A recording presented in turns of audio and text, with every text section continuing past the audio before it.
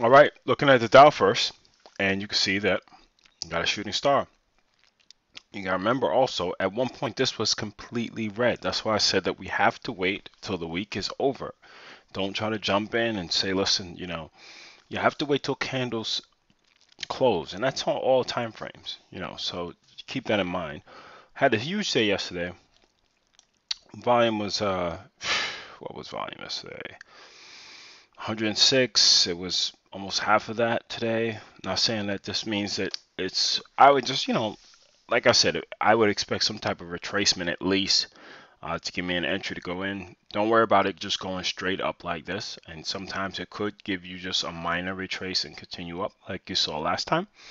Or coming down, give you get minor retrace and come down, minor retrace, come down, minor retrace, come down. You just have to be aware of it.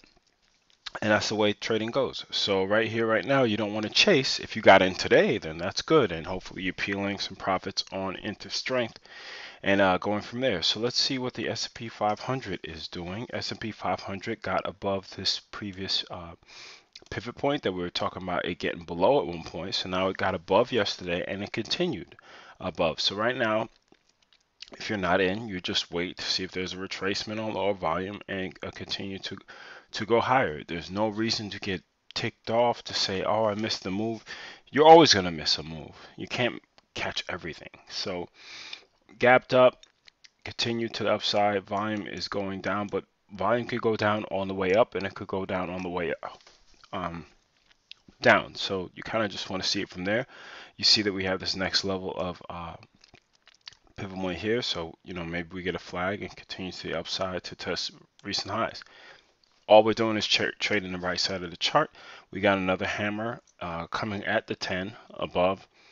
You can see here, if I just adjust this, that you have uh, higher lows in place, one, two, and you have this. So you extend this out. If I make this a little sharper, maybe to just the low, not to the low of the day, you can see in this uh, uh, ascending triangle. And if I had this enough real estate to expand this out, maybe you would see that as well.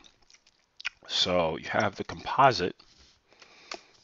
The composite, again, this was completely red if you watch the videos that I, I spoke about, I, I've done video every day this week. I'm doing videos pretty much every day, every trading day at least. And you could see that I told them because at one point this was completely red. I said, don't get over ambitious because at the end of the day, this thing could could uh, become a hammer or something like that. Let the candle close. So said, so done. Um, I'm not predicting it. I'm just saying to be patient because it could have just continued to go down, and then you just have some great setups to say, okay, I'm waiting for it to flag to the downside. I'm not predicting anything because you know you can't predict in this. You're just trying to have as high probability as possible. So it broke the pennant, came down, come back up, testing these highs, broke above it, and we gotta just to see see how this stuff goes. We got the Russell 2000 cranking. Um, go and test new highs. Um, maybe it gives you retracement, maybe it doesn't. Uh, you could trade the IWM as well, and uh, it looked really good. I mean, it, it pretty much, you know, if that's not a strong day, I don't know what is. It broke these previous highs and just, you know, got at it. So that looked good.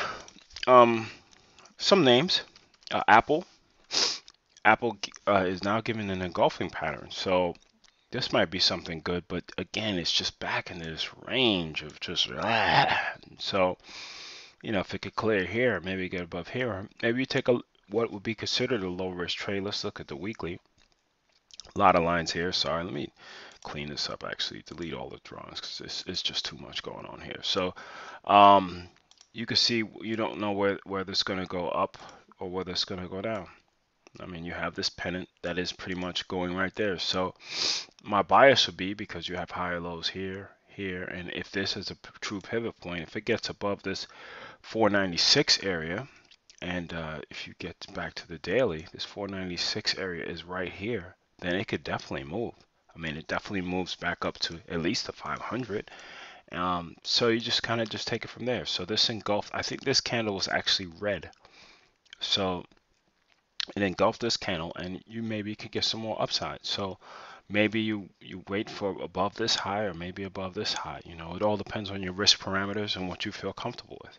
You got Google. Uh, Google right now to me is just flagging. It's still uh, testing this upper line that we showed yesterday on the weekly, but it is giving a hammer. So at least you could say that the bulls have, you know, tried their best at this previous line of uh, resistant uh, support.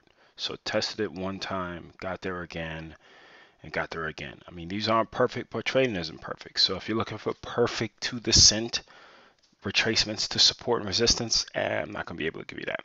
Most people won't be able to give you that either. So don't have too much of a, a high expectation for everything. So you see that going on. It might be a flag to the upside. Like I said, I want to see a higher low on that. Tesla. Uh, Tesla gave you a, eh, it's still under the 10, still needs to get clear above this channel. I mean, when it does, it could rocket off like we saw with uh, Solar City, crushed it today. And I told you guys yesterday, I said, listen, I'm not predicting, but I said, man, if it can get over this $40 level, I mean, go look at the video yesterday. It says if it could get over that $40 level, we have some good chance to really move. Uh, some other movers today was Chipotle. Chipotle continued to the upside, closed up strong, almost 2%. You have uh, Wynn, did really well, continue to the upside. Um, good, good, good sign. Um, you have CLR, which I was looking at. Eh, it's doing okay. Um, you could roll up your stop regarding that. I had CRZO. Uh, that one did okay as well. Um, was keeping a lot of stuff on the, the radar and kind of really didn't trade much at all today. Just kind of just really want to see what's going on because I want the probability of my trades to be a lot is a lot more important to me than just trading per se. So you have IBM volume is decreasing. Uh, don't know if this is a flag to the, you know, to continue to the downside. Like again, it needs to give me a, a little dip and more to the upside before I get excited. Facebook volume is dying. Um, so we just have to see what's going on. It still has bearish MACD, still getting to that 10-day moving average. Excuse me. So we really have to see what's going on. Kors, Kors gave an engulfing pattern, look like more like a flag, and this if this breaks down, it's under the 50. It could it could move. It could move to the downside. So um, you know, be aware of that because this could be a setup. You know, if you look at the yeah, if it gets below this low, I mean, it has a lot of you know, you're talking about 66 level at a stock that's you know, you're talking about almost a 10% rip down to the to the next pivot point level. So just be very, very careful with that. Uh, Priceline actually looked weak today. Um, again, given another flag, you know, kind of going from there. And, uh, you know, it's really looking kind of weak today from here. So uh, that's not that good for this name. I mean, you know, money is circulating around, so you really just don't want to, you know, Jazz again, biotech, uh, not looking good. Uh, you got Biogen, not looking good again, might be another flag um, right here. So these are things that you could get to the short side with if you wanted to. Um, who else we got? We got Jazz. We got again another one just showing a little bit of weakness. The volume. Okay, so right now I would need something else to, to at least break this level here or give me some other candle to roll back down. So, uh, who else we have? Now let's see what Walmart's doing. Walmart might be flagging uh, to the upside actually. So, you know, you have, and flags aren't perfect, but at least maybe have this pennant or something like that to the upside. But, or I can make, you know, a flag like, you know, I don't feel like doing all this, but you get the point.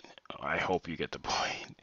So um, can see a flag kind of like that. Let me see if I can really, there you go. Kind of like that. So um, maybe that's uh, going to the upside and you could really, um, you know, just make sure you're, you're looking at this stuff, kind of see what's, what's going on. Uh, save actually gapped up and drove higher. So really want to see what's going on with this one. This looks really good. And I want to show you a, a chart. Sometimes you can look and win. I want you guys to really look out for when. Uh, damn, it won't give me the chart. Shoot. Um, let's see what we can do. Uh, weekly, weekly, weekly, weekly. So you kind of have this. This is a cup and handle that broke out. So I wanted to show you on the yearly. It actually had like a really crazy big cup and handle that you could see. But you have the cup handle broke above 37, and uh, if you look at the daily, above 37. Yep. So um, if if this breaks over 40, I'm in. I, I like this. I mean, I really, really like this this stock, and I just got to do some more homework on it. But I like this one. So there's a couple more names. Again, got to do my homework over the weekend. It's a long weekend. Remember, no trading on Monday, and uh, trade them well, man. I mean, listen, man. It was a you know, if you didn't trade at all this week because you didn't feel comfortable, there's nothing wrong with that you know, and don't feel like you have regret because what happened if you went in and then you lost? You say, "Oh, I should have, should have, could have, would have." The past is done. The future, what it say? The, the past is done.